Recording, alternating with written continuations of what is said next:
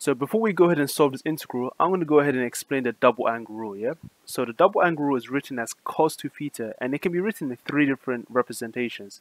I'm only interested in two of them because one involves sine squared and other one involves cos squared, okay? Theta the subject and other one is cos squared theta subject. And if you do it, you'll pretty much get something like that.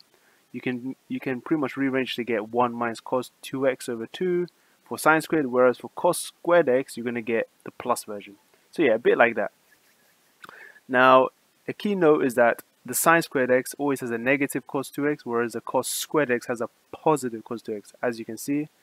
So let's go ahead and just put 2 times 2 on the other side because that gives you a quarter behind integral. Now all we have left is literally a double bracket which has 1 minus cos 2x times 1 plus cos 2x. And guys, if you went ahead and expanded times term by term, you'll literally just get this. 1 minus cos squared and then in the bracket 2x. And that's it guys. Now we could go ahead and just integrate what you see or we can just note the fact that 1 minus cos squared something is the same as sine squared because as a trig identity it tells us that sine squared theta plus cos squared theta equals 1.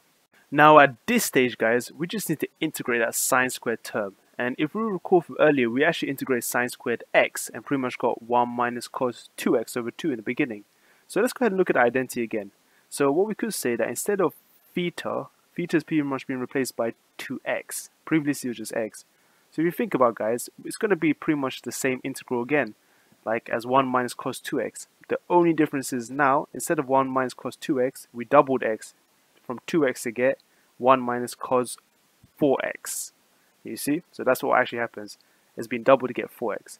And that's it guys, the rest is history. We just pretty much smash that down.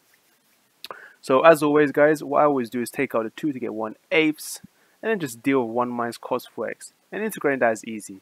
1 becomes x, cos 4x, well, it becomes a sine, and the 4 goes underneath, so it becomes sine 4x over 4. And that's it guys. We pretty much wrap it right here. And yeah, I hope you guys enjoyed that, and if you did, please give me a like, subscribe, and I shall see you guys next time. Ciao.